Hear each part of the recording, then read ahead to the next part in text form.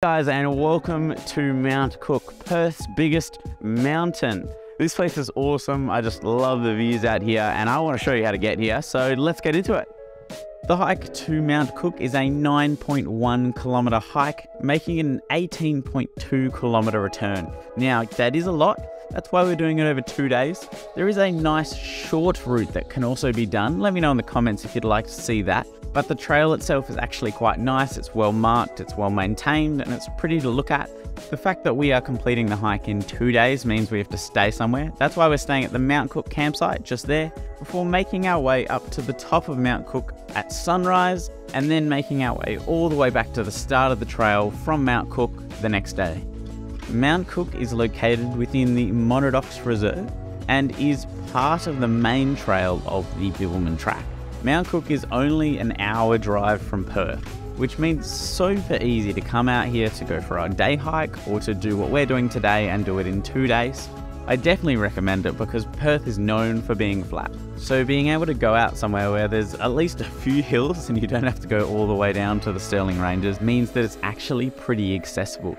Now, we came out at the start of March and it was still pretty warm when we came out. I would probably recommend waiting till a little bit further in autumn or doing it over winter or spring, but it's awesome regardless as long as you're prepared with enough water and supplies for that kind of heat. I was actually pretty excited to get out there and do this hike. I've been wanting to do it for a little while, and so just getting out there, seeing the trees, seeing the trail, packing up my hiking gear, packing up my stuff to go sleep for the night was super exciting.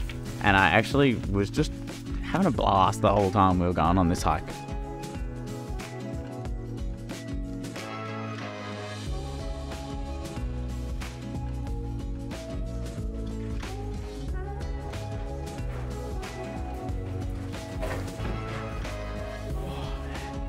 As I mentioned, we are not doing it all in one day, and so that means we have to stay somewhere. That's why we're here at the Mount Cooke campsite, one of the many awesome campsites along the Bibbulmun track. So what we're gonna do, we're just gonna chill. Just chill for the afternoon, stay here for the night and take it all in. It's awesome to be out in the bush. Then we're gonna head up Mount Cooke, just over there tomorrow for sunrise, and it's gonna be absolutely amazing. I'm so keen and I can't wait to get up there.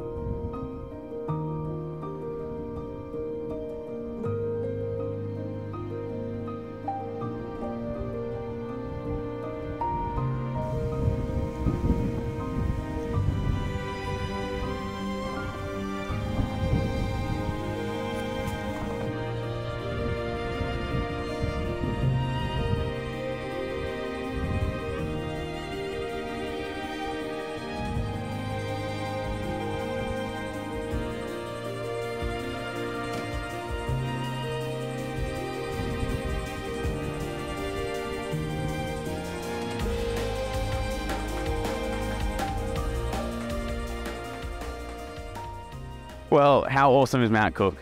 Absolutely stunning, regardless of whether you do it in a day as a challenge or over two days as we did coming up for sunrise. This place is absolutely beautiful. Definitely come check it out if you haven't because it's absolutely epic, especially to have just here in Perth.